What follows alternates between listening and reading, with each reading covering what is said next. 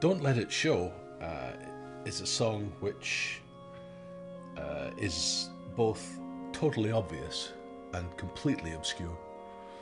Um, so much of uh, what I'd read in the Asimov stories, as in so many other stories, involved the necessity to uh, uh, have a poker face, to not give away uh, too much of your emotions or your feelings, as there were.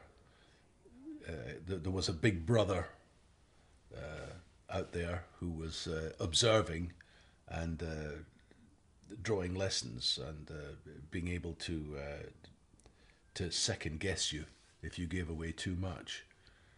So it was um, uh, superficially uh, fairly straightforward, but there are so many layers of meaning in that song that um, uh, I haven't even gotten to the bottom of it yet.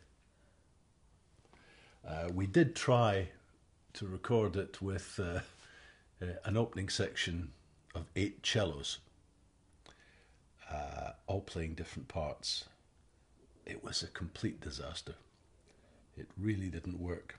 And um, I remember when we were actually doing that session, there was a, a pipe organ in the studio for another session. And uh, seem to recall we we borrowed it for uh, the opening section, and I, I, I played the the old steam organ as the basis for that particular track. Say you don't care. Say you don't